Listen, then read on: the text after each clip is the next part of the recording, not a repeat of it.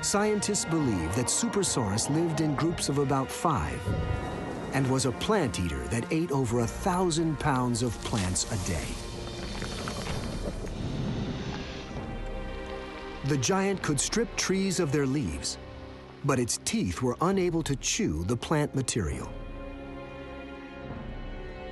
Instead, stones in its stomach that the dinosaur had swallowed helped grind up the plant matter.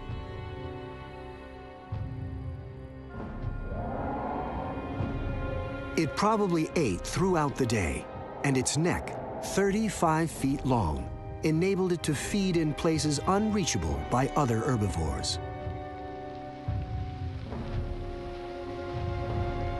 Not only was Supersaurus large, it also lived a very long time, in some cases, over a hundred years. Why did Supersaurus live so long? Was size a factor? Some believe that the metabolism and heartbeat slowed down as the animals grew in size. The end result, creatures with a very long lifespan.